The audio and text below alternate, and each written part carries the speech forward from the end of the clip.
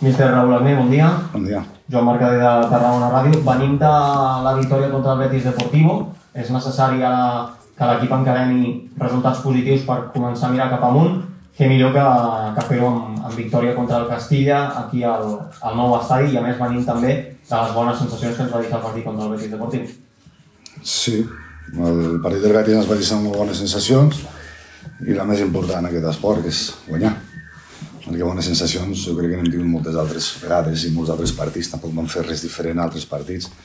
Però el futbol són punts, punts és guanyar, i la millor manera és tornar-ho a fer diumenge, perquè crec que també contra equips bons estem a l'alçada, exceptuant l'accident aquell lamentable que vam tenir dimecres contra l'Andorra, però crec que estem en un bon moment, crec que, que l'equip va a més, tenim dades que així ens ho diu, objectives, i esperem doncs, poder guanyar diumenge al Madrid aquí, que sabem que és un molt bon equip també, clar.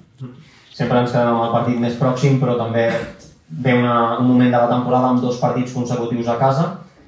Serà important eh, que l'equip en aquests dos partits sumi el 6 de 6 per tal de, de tornar a mirar més cap amunt que no pas cap a baix. Sempre s'ha d'anar per la victòria, però el Nàstic ha de fer un 6 de 6 en aquests dos partits? Intentem fer 3 de 3, que és el que ens toca ara. L'altre és distreure'ns. És que això del famós partit a partit és que no en queda un altre, és com la vida, és el dia a dia. Jo no sé què passarà d'aquí 3 hores o demà. El que sí que sé que juguem contra el Madrid i, i intentarem guanyar-lo perquè davant de rivals així crec que és un rival molt semblant al Villarreal amb molt bons jugadors individuals però crec que hem estat a l'alçada i hem fet molts partits i intentarem guanyar aquest, el primer aquest i ojalà sigui així i així esperem que sigui però després pensant en guanyar l'Algeciras perquè siguin 6 de 6 com tu dius Quin nou estadi t'esperes? Ara feia referència després de l'accident contra, contra l'Andorra aquí a casa.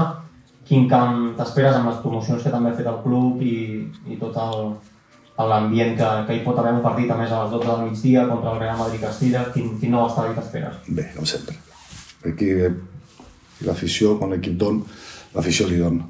L'afició aquí perfecta, no, no, no, no hi ha cap problema. Nosaltres hem de tenir la versió que normalment tenim a casa durant tota la temporada i la gent estarà al nostre costat segur, segur, perquè és una molt bona afició. Mm.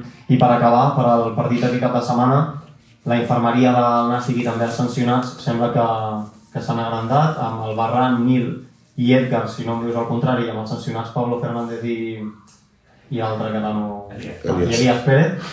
Eh, que, quina valoració fas d'això que el Nàstic tingui tantes baixes per aquest partit? Bueno, pues, pues que sempre t'agradaria tenir-los a tots, que et condiciona, perquè deixen de ser, no deixen de ser cinc baixes, però també l'altre dia també teníem baixes i els, els equips es fan més bons des de la famosa força del grup quan és capaç d'adaptar-se a les adversitats. Tindrem gent per fer un 11 titular, fiable, tindrem menys recursos a la banqueta, això està clar, però no tinc cap dubte que farem un, un bon equip i estarem a l'alçada. Jaume? Sí, bueno, Jaume Aparicio de, de Tarragona. Ah, la setmana ha estat potser més tranquil·la o, o no? Quan guanyes sempre tot és més tranquil. El guanyar fa riure. És que és l'únic que entén aquest joc.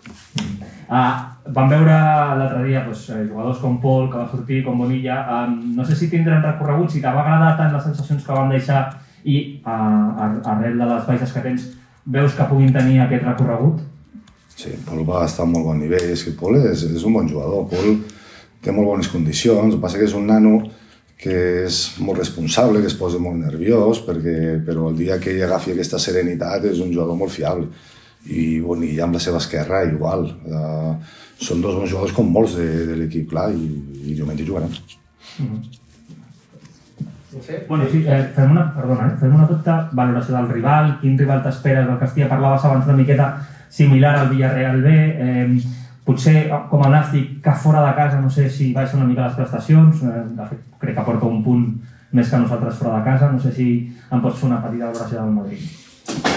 pues és un equip que fa mèrits per tenir més punts fora de casa, però que la veritat diu que només en té, que només en té un més que nosaltres. Uh, llavors, és un equip que se sembla al Villarreal perquè combina, però és molt vertical.